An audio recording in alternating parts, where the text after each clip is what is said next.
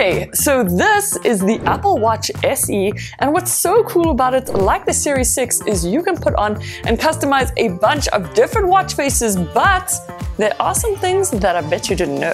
For example, if you go ahead and click down on your watch face and add a new one, scroll through all the options until you get to Mickey Mouse, select that watch face, and when you tap it, it's 12.39. He tells the time. What you can also do is click hold down, tap edit and select Minnie Mouse and she does the exact same thing. It's 12.39. And if you choose any other watch face, you can actually get Siri to tell the time just by taking your two fingers and placing them on the screen it's 12.36 p.m. Which is pretty cool. Then you also get some really great animated watch faces and if you go through the various ones and select Toy Story for example, each character animates on your watch face and every time you tap the screen or flick your wrist, a new character appears with a different animation and it's honestly a lot of fun. You also get a flower watch face that does this, the Memojis and even jellyfish guys, so definitely check this out. Really cool thing is in the Messenger app on your watch, you can reply to messages by expressing your feelings. So check this out. If you head into the application menu and select message, then create a new message, once you tap over there, you will see this little icon in the bottom right hand corner. Once you've selected that, what you can do is choose a color and then actually draw a little picture on your watch face. So I just drew a little heart, then I selected a new color and drew over that heart once again just to make it stand out a bit more. Then what you can do is send this little drawing to a friend who also has an iPhone or Apple Watch. Then here's where expressing your feelings really comes in and if you take one finger and hold down on your watch face it creates this animated fireball. If you tap all over the screen it creates this like confetti animation. Taking two fingers and holding it down on the watch face will animate your heartbeat which you can also send as a message. And then if you do the same thing but then swipe down it breaks the little heart animation so for heartbreak and then finally taking two fingers and tapping tapping on the screen creates these little kiss animations and then once you've sent your message and your friend receives it, this is how the animation appears on their watch or iPhone and I love it. Creating emojis is also something you can do on the Apple Watch SE and it is surprisingly entertaining and you'll see why just now. But once you've started creating a new one, from there you can completely customize your entire Memoji by selecting its skin color, its hairstyle and hair color as well as other features, basically everything you're able to do on your iPhone except on your Apple Watch. Then once you've finished your Memoji, you can scroll all the way down and create a new watch face of it. As mentioned, it's super entertaining because every time you flick your wrist or go to check the time, it is doing something completely different. And what's also cool is if you don't like your own custom emoji, you can choose from existing ones that Apple have already created, and they are equally as entertaining and animated as your own personal one. Like this funky robot, for example, so definitely check out all the characters because you're about to find one you love.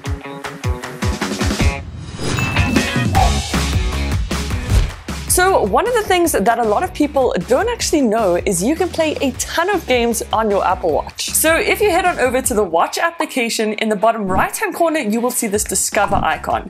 Tap on that and then scroll down to explore watch apps. And here's where you will find a bunch of suggested watch applications from Apple, whether it's to do with fitness, tasks, or in this case, gaming. There are a bunch of different games to choose from, like this one called Touch Round, which I'll have linked down below. Of course, go ahead and download it, and then the fun really begins. So once you've installed the game on your phone, it'll automatically populate to your watch, and then you can just open up the app menu, find the game, select it it and start jamming. You'll be amazed at just how addictive it is playing games on your watch, so enjoy and have fun.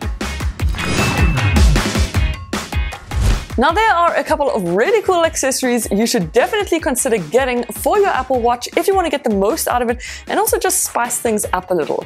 And one of the first things I always get for mine is this silicone bumper. As you can tell, it is completely see-through and to install it on your watch, all you're going to do is remove the watch straps and then with a little bit of time and patience, it is a bit tricky, you're just going to wiggle your watch face into the silicone holder. But the minute it's in, I can assure you it's not going anywhere. These silicone bumpers are actually really affordable, and once they're on your watch, the touchscreen still works 100% fine. Then another super nifty accessory is this watch stand. And what's so cool about this watch stand is all you do is grab your existing watch charger and then simply place the main charging head in that open silicone hole. It fits really snugly and the wire also wraps neatly around the back. What's so nice about this accessory and setup is because you don't actually buy the watch charger itself and just the stand, it is way more affordable. And if you have nightstand mode toggled on on your watch, when you go to charge it, it acts as a bedside clock just like that. So I'll have a link to all these accessories down below in case you guys are interested. Sleep tracking is also available on the Apple Watch SE and in the app menu if you click on this little bed icon, here's where you can change a bunch of different settings to best suit your sleep schedule. What is so awesome about this is you can set your sleep schedule and settings all right from your watch. So depending on what days and time you want to be woken up, it's all right there and you can even set your sleep goal. So depending on how many hours of sleep you want to get, as well as your wind down timer. Once all that is set up and you've slept with your watch on a couple of times under the health application is where you will find all your various sleeping stats. There is a bunch of data to go through and they've even got articles on why sleep is so important. But if you want to check out the day of the week or month, you can simply click on one of the graphs and it'll show you what time you went to bed, what time you woke up, as well as your average time in bed and average time asleep. And by the looks of it, I've gotta give myself some more sleep. Now, of course, it is possible to misplace or lose your watch. I mean, duh. And if that's the case, then you can actually ping your watch so that it makes a sound and is much easier to find. To do this, just head on over to the Find My application on your iPhone, then swipe up to see all your devices, and of course, go ahead, tap on your Apple Watch, and then click on this play sound button. Within a matter of seconds, your watch will start making this pinging sound and it will not stop until the watch is found. Your watch's location is also displayed on the screen, which is super nifty and of course makes life so much easier you now, another new feature on the Apple Watch SE that is very fitting and useful for nowadays is the automatic hand washing detection. So once you go to wash your hands, automatically your watch will detect that and start a 20 second countdown timer. You do have to make sure this is enabled within the watch application if you want, just by scrolling down and tapping on hand washing. Once in there, just make sure to toggle on hand washing timer and you're good to go. Then in future, you can put your mind at ease knowing you will thoroughly wash your your hands every single time. What's also interesting is if you head on over to the health application on your iPhone, you can see the stats and data based on how many times and for how long and each day of the week you've washed your hands for. Then clearing notifications in the past has been quite a pain because you have to swipe left on the notification, then click this X button in order to get rid of it. But now if you scroll all the way to the top of all your notifications, you can just click this clear all button and they'll disappear. Rock on.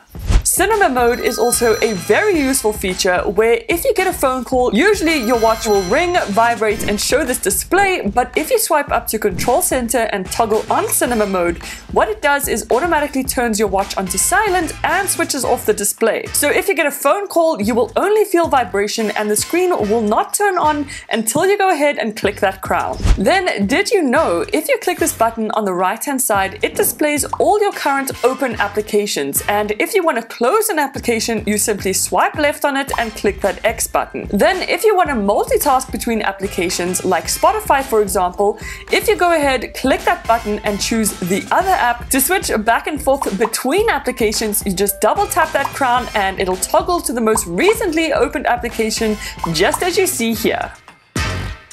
If you enjoyed this video and you want to see some more tech tips and tricks, then don't forget to like and subscribe, or you can check out some of my other videos right over here. But thank you so much for watching, and I will see you in the next one. Toodles!